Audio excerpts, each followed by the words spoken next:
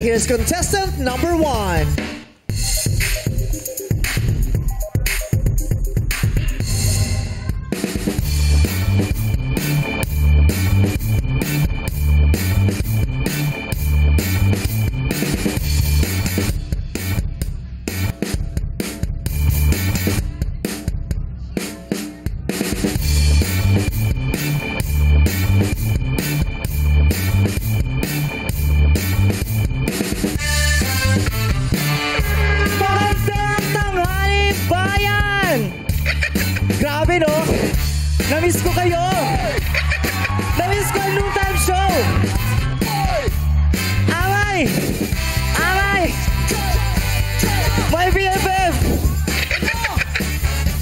Nangyari sa'yo? Labas naman tayo!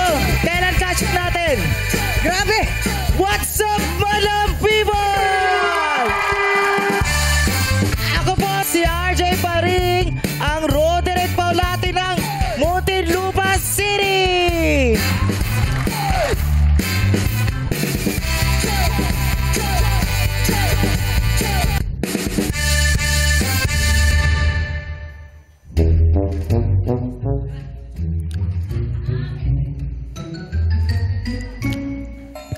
Di bagay, no?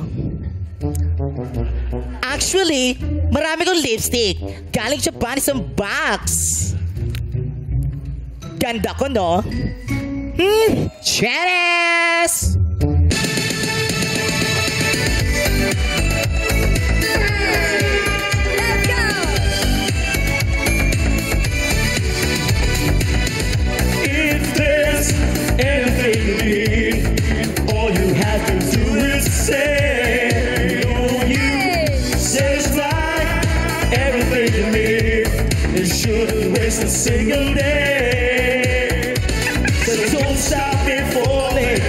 se lhe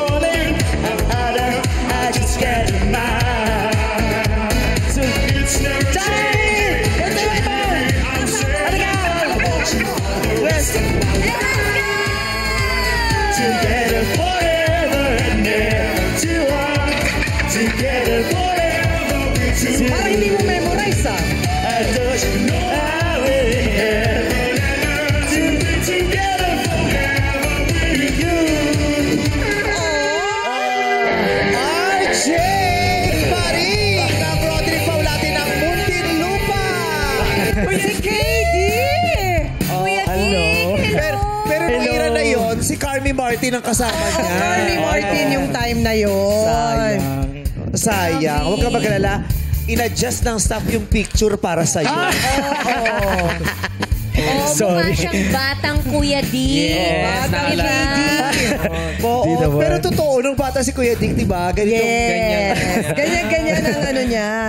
Oh. Nagtitiri ay nga si Chang Ami. Nakita niyo si Kuya Dick. Nagre-reminis kasi... Best friend nung tinawag akong Bebet amay, ko alam yan ko na.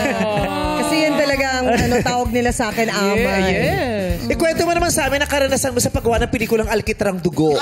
Ayun, napakahirap niyang pelikulang yan. May isa akong movie na pinaka pumatok ako. Ano yan? Ano yun? Yung balat lipstick. Balat Oh. lipstick. Yun. 1994. Pero bumlockbuster ka sa ano, sa Petrang Kabayo. Oo. Ay, oo, yun yung una kong ano. Ay, oo. Petrang Kabayo Dalawa meets yun eh. Petrang Kabayo. Yun nga. Oo. Pero pag-usapan natin, yung bala at lipstick, di ba? Oo, di ba? Meron kang isang lipstick. Ayun doon. Meron kang lipstick, isang box. Galing, Galing Japan. Japan! Japan! Japan! Baklang tuwa? Baklang tuwa! Ganon. Oo. Galing Diba? Japan. Eh, si Kuya Dick, di ba lagi niya kinakanta yung mga kanta ni Rick Astley? Rick Astley. Siya ang Rick Astley of the Philippines. Oo. Sige nga, pero kanina ha, kung lip sync battle, die. Oo. Di ba? Naalala mo ba ang team song ng Petrang Kabayo? Mm. Ay, together din yun. Kasama si Aiza, di ba? Yung maliit pa siya. Oh. Pero may Ha? team song yun. Si Aiza na sa Petrang Kabayo. Yung maliit Oo, pa nung siya. maliit pa yung siya. bata pa siya. Oo, sobrang maliit pa si Aiza no. Sa Petrang Kabayo? Oo, sa buwan. Yung siya yung makulit na bata, yung sa ano, kapitbahay namin sa taas. Oo. Anong team song? Ayun ang...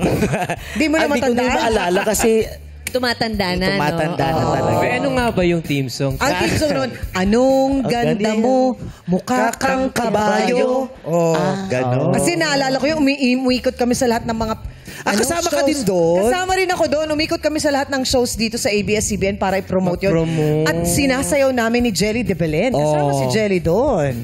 Tara. Si Chang na lang ang sa sali dito. Balik ka, Chang. Na-meet mo na ba si Roderick Paulate? Oo. Hindi pa gusto kong mapunta. Gusto Baka ako yung makilala? anak. Gusto mo bang makilala? Hello? Ay, naku, kayang-kayang mag-video call ni Chang Ami ngayon. Ay, Chang Ami, nasaan video call ba yung telepono? Ay, oo. Nasa yung telepono ko? Nasa dressing room. Kausapin mo na lang dito si Roderick Paulate. Ayan. O kaya ito na pala siya. Ba't hindi siya kausapin dito? Ayan, ayan, ayan, O, ayan. Ano message mo? Bigay mo sa kanya ang mensahe. Mr. Roderick, sana makita kita personal. Kasi sabi nila, ako, baka ako daw yung nawawala mong anak. Malay mo, di ba? Ayun lang. Dami mannerism ni... Ano, Oo, oh, nauhuli naman niya. Oo, dito Ang ka. hirap, no? Mahirap ang alin. Yung manggaya talaga, mahirap siya eh. Oo. Oo.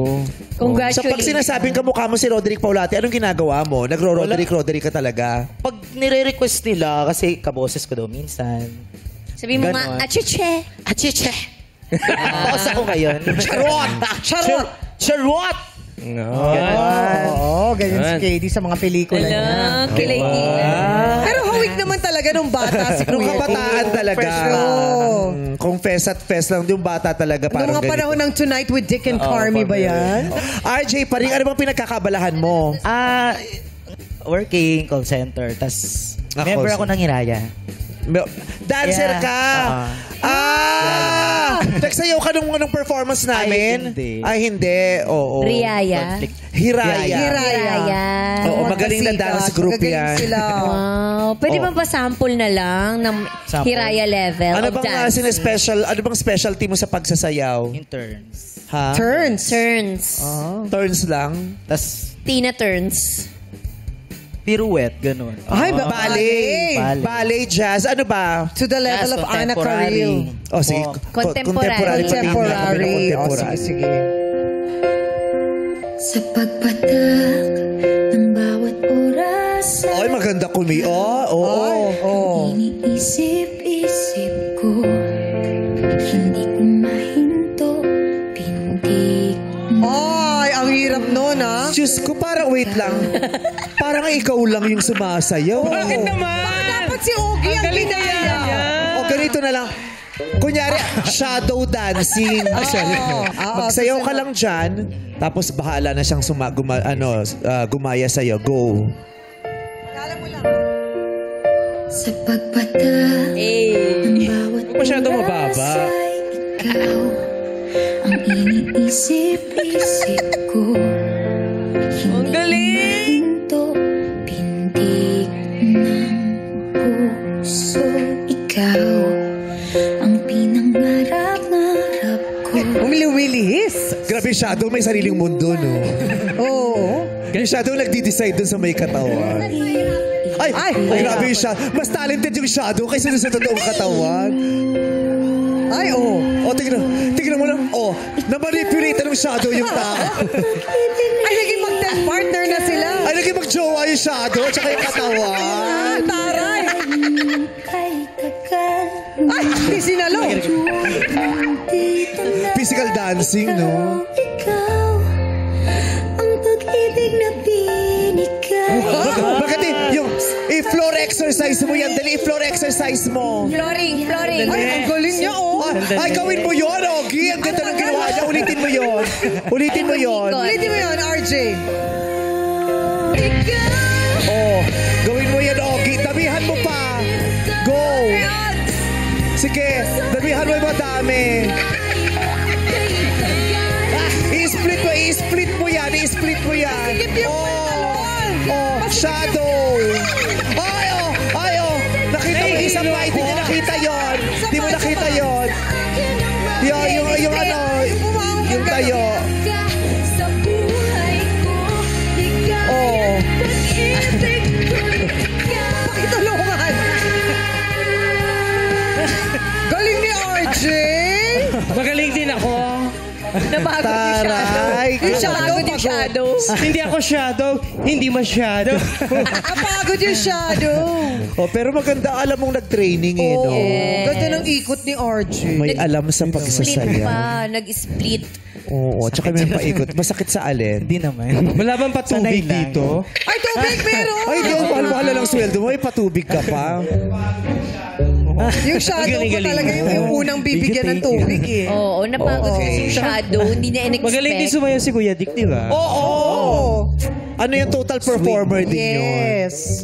Okay? Eh. So, kausapin na natin ang mga dapat kausapin. Yes. Eto na habang uminom siya ng tubig, alamin na natin kung anong hatol ng mga lakay contestant. Number one mula kay na Jackie and Ayon. Thank you, Chang! Ate Jackie, alamin na natin ang hatol ng Madlang People. Madlang people! Kaloka or kaloka like! Uy! Halos kaloka. Yes, Ito, marami. ito, dito tayo, dito tayo. Saan tayo? Ito, kuya tayo ka, please. Tayo, tayo. Okay. Kuya, Hello anong po. name mo, kuya? Holden po. Holden, Kuya Holden. Taga saan si Kuya Holden? From Mandaluyong City! Ah, Mandaluyong City, kuya. Ayan. Mo is kaloka-like. Kaloka-like so, po. Kaloka-like niya talaga si Kuya Um, Dick.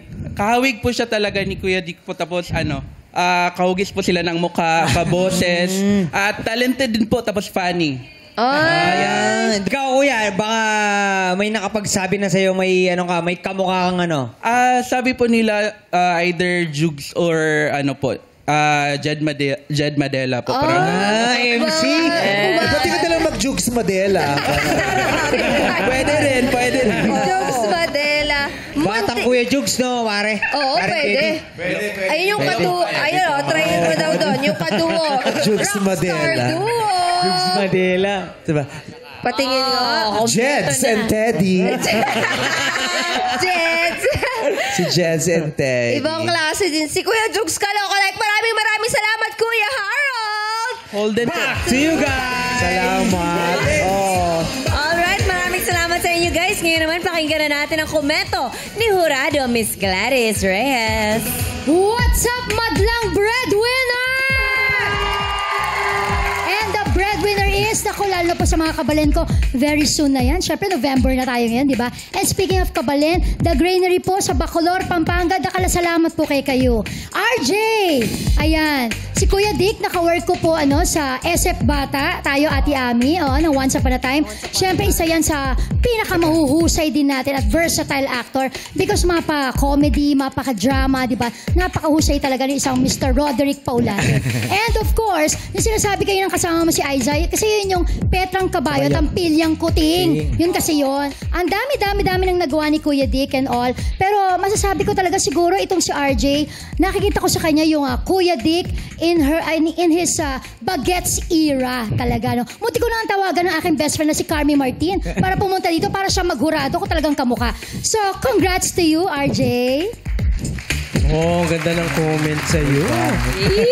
Maraming salamat, Hurado Gladys. Mga Hurado, maaari nyo ibigay ang yung hatol kay RJ Paring, ang Roderick Paulate ng Muntinlupa.